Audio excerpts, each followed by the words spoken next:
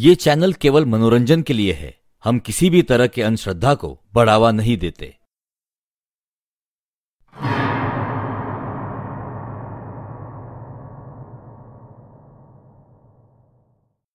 ये कहानी है जगदीश की। 19 साल का जगदीश एक छोटे से गाँव में अपने माता पिता के साथ रहता था।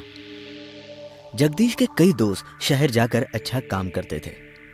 उनमें से एक दोस्त ने जगदीश को सलाह दी कि वो भी उसके साथ शहर में जाकर काम ढूंढे।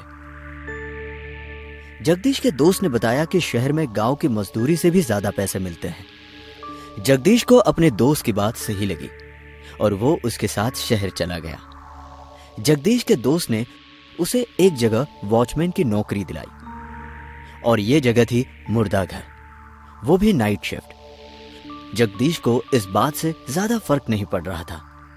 क्योंकि यहाँ पर उसे अच्छी खासी तनख्वाह मिल रही थी। जगदीश जानता था कि उसे कहीं और रात के दस घंटे ड्यूटी करके इतनी अच्छी तनख्वाह नहीं मिलेगी। जगदीश का काम का पहला दिन था। जगदीश की ड्यूटी रात के नौ बजे से लेकर सुबह सात बजे तक की थी। जगदीश ठीक दस मिनट पहले वहाँ पहुँचा और वहाँ के मॉर्निंग शिफ्ट वाले वॉचमैन चाचा से मिला। उन्होंने जगदीश को देखते ही कहा तो तुम आ गए नए वॉचमैन तुम्हारी उम्र तो बहुत कम लगती है। कितने साल के हो तुम?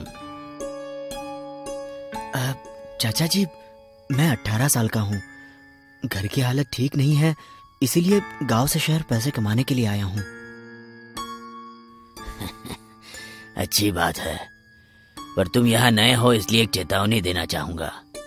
तुम्हारी ड्यूटी मुर्दा घर के बाहर है, इसीलिए सिर्फ़ बाहर ही ध्यान देना। अंदर क्या होता है, क्या नहीं होता? कैसी आवाज़ें आती है, ये देखना तुम्हारा काम नहीं है।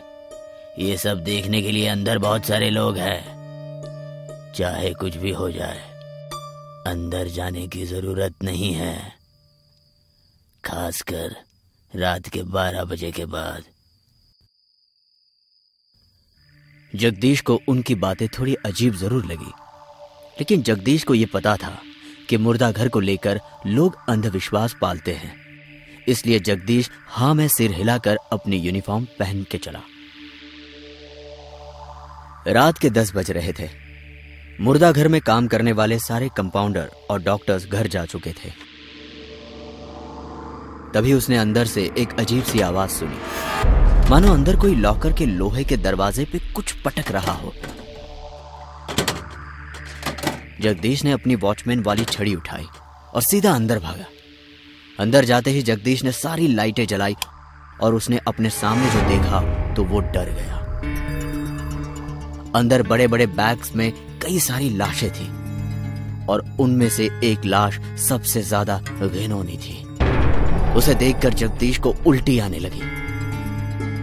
वो सीधा मुर्दा घर से बाहर भागा। जगदीश को अब एहसास हुआ, आखिर क्यों उसे अंदर जाने से मना किया गया था?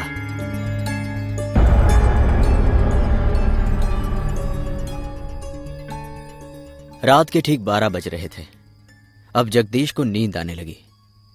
जगदीश की आग लगी ही थी कि तभी उसने फिर से आवाज़ सुनी।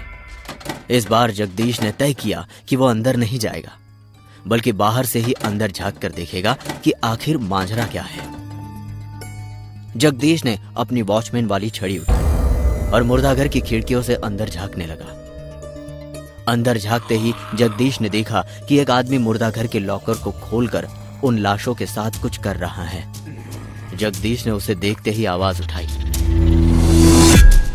ए, कौन हो तुम? अंदर क्या कर रहे हो? उस आदमी ने पलट कर नहीं देखा, बल्कि वो उसे अनसुना करके दूसरे लॉकर खोलने लगा। जगदीश भागते हुए अंदर गया और उसने उस आदमी का कॉलर पकड़ा। तब जगदीश ने देखा कि वो आदमी कोई और नहीं, बल्कि वही सड़ी हुई लाश है, जिसे देखकर वो उल्टिया कर रहा था। जगदीश डर के मारे ज़ोर से चिल्लाया। वो आदमी अजीब तरह से हँसते हुए उसकी तरफ़ बढ़ने लगा। जगदीश अपनी जान बचाने के लिए वही सर्जरी रूम के अंदर भागा और उसने उस रूम का दरवाज़ा अंदर से बंद कर लिया। जगदीश ने कांपते हुए अपनी जेब से अपना फ़ोन निकाला और उसके दोस्त को फ़ोन किया। हेलो? हेलो मुझे मुझे मुझे बचाओ। ये ये ये ये ये, लोग मुझे मार डालेंगे। मुझे बचाओ। Hello hello hello. ये ये ये, ये लोग मुझे मार डालेंगे। मुझे बचाओ। Hello hello hello. उसके दोस्त को पहले तो कुछ समझ में नहीं आया। उसने उसे शांत करते हुए उसके साथ क्या क्या हुआ ये पूछा। और जब जगदीश ने उसकी सारी बात बताई तो उसके दोस्त ने उसे उसी कमरे के अंदर रुककर उसका इंतज़ार करने को कहा। जगदीश ने फ़ोन रखा ही था, तभी कोई ज़ोर से उस कमरे का दरवाज़ा खटखटाने लगा।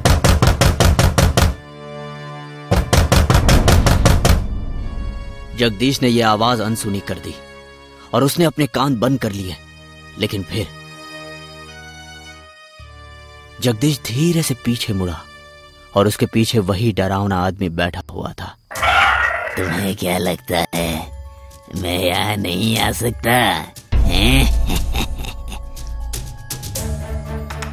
जगदीश फिर से भागते हुए उस कमरे से बाहर आया और इस बार उसके सामने जो नज़ारा था उसे देखकर जगदीश के दिल की धड़कन रुक गई। लॉकर वाले कमरे में सारी डेड बॉडीज अपने लॉकर से बाहर आ चुकी थी। जगदीश ने पीछे मुड़कर भागने की सोची लेकिन इस बार उसके पीछे वही घिनौनी चेहरा वाला आदमी खड़ा था।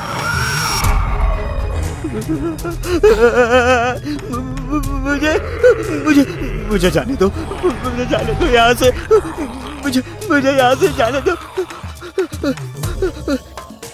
बचाओ! उन सबने उसे चारों ओर से घेर लिया। और जानवरों की तरह उस पर टूट पड़े।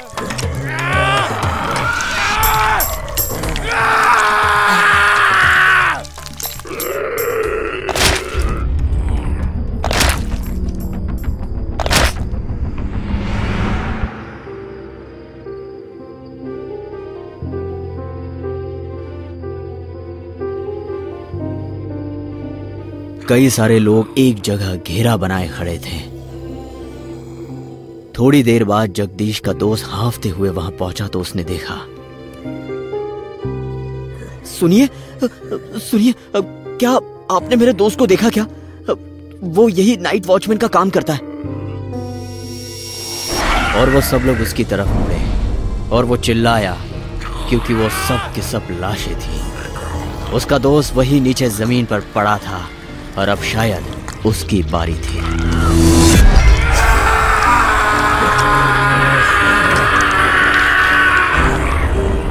अगले दिन जब वहाँ पर काम करने वाले बाकी कर्मचारी पहुँचे तो उन्होंने देखा।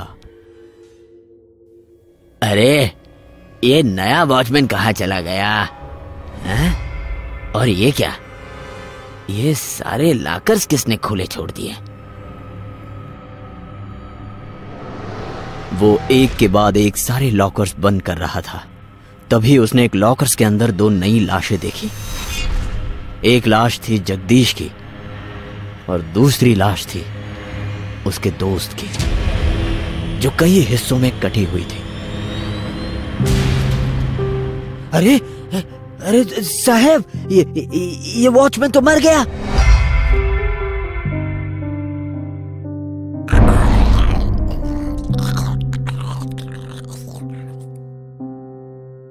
यदि आप हमारे चैनल पे नए हो तो चैनल को सब्सक्राइब करना ना भूले। और बेल आइकन पे क्लिक करें, ताकि हमारे सारे न्यू स्टोरीज आप सबसे पहले देख सके। अगर आपको ये स्टोरी अच्छी लगी हो तो लाइक करें और हमें कमेंट करके ये बताएँ कौन सा पार्ट आपको बहुत पसंद आया। और अपने दोस्तों के साथ शेयर करना ना भूलें। आप हमें फेसबुक और इंस्टाग्राम पेज पर भी फॉलो कर सकते हैं। At the rate skull tales